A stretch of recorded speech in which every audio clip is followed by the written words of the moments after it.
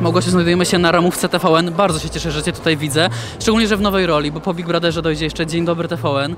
No muszę... Też się cieszę, że Cię widzę, ponieważ byłeś naszym gościem w tych nocnych wariactwach e, i tak jest ciepło się czuję, jak Cię widzę. Dziękuję, to, to na pewno wejdzie na stronę. A moje pytanie musi, musi dotyczyć początków. Tego pierwszego telefonu, który odebrałaś, no właśnie od kogo? A może sam pan Edward Miszczak zaprosił Cię do swojego gabinetu? Pamiętasz ten dzień, ten moment, kiedy zaproponowano Ci rolę prowadzącej DDTVN? Tak, pamiętam ten dzień i pewnie tego nigdy nie zapomnę. Do- Wiem, że to było na e, parkingu e, przy Dzień Dobry TVN ja szłam jako gość e, i zadzwonił dyrektor Miszczak zapytać w sprawie Big Brothera, rozmawialiśmy a propos castingów i nagle na koniec, ja już właściwie się zbierałam, zabierałam buty, żeby się przebrać i tak dalej, rzucił takie pytanie, czy poprowadziłabym Dzień Dobry TVN. Jest wsiąść do taki- samochodu i 30 minut sobie posiedzieć? Słuchaj, to jest w ogóle taki moment, że kręci ci się w głowie tak naprawdę i myślisz, że to jest żart, ale w ogóle e, zastanawiasz się, czy to ci się śni. Filip Heiser i Małgosia Omer, którzy już niedługo będą mieli trochę bardziej podkrążone oczy niż teraz, wstając o godzinie, o której nikt inny nie wstaje. Zostałaś zestawiona w parę z Filipem Heizerem.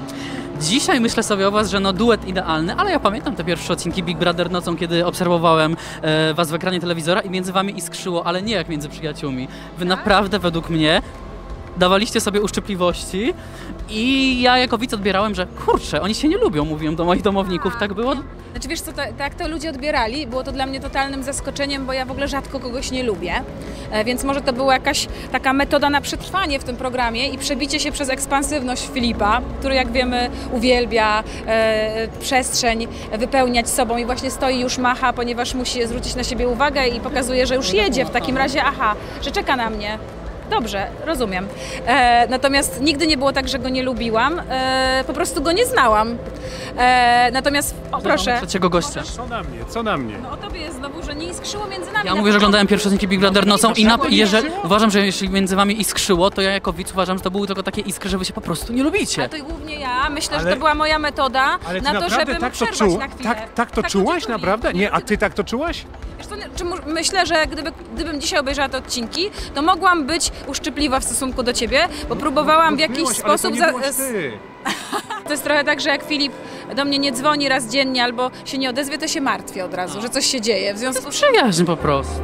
Myślę, że to jest jakiś rodzaj przyjaźni, ponieważ, tak jak mówię, myślę, że to było super, że myśmy byli w tym Big Brotherze, bo sam byłeś i widziałeś, jaki to był spontan, jak często po prostu lataliśmy wokół tematów, kosmos, jakiś kompletny poligon doświadczalny i myślę, że w tym poligonie tak naprawdę myśmy musieli bazować tylko na naszej relacji.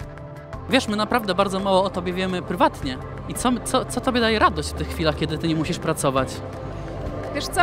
Różne rzeczy. To jest właśnie to takie pytania, które są dla mnie dziwne. Bo mnie raczej pytają, a co kobiety lubią robić, kiedy wracają e, umordowane Wiesz po dlaczego? Bo ty masz dwa wizerunki, albo jesteś Tak, psychologiem, nie. albo jesteś sobą, tą pełną żartu, też czasem celnych ripost Gosią Ome i też się zastanawiałem, kim będziesz Dzień Dobry TVN. To jest bardzo dobre pytanie, że jakby e, we mnie są dwie osoby takie medialne. Jedna się już dawno urodziła, 16 prawie lat temu, jako ekspert, jako psycholog, który jednak musiał mieścić się w takim gorsecie e, psychologa i któremu różnych rzeczy wolno, nie wolno, e, jest przestrzeń do swoich historii dla celebrytów, którzy przychodzą. Ja jestem od komentowania, poczucie humoru czasem, ale też nie za dużo, więc ja w tym gorsecie byłam wiele lat.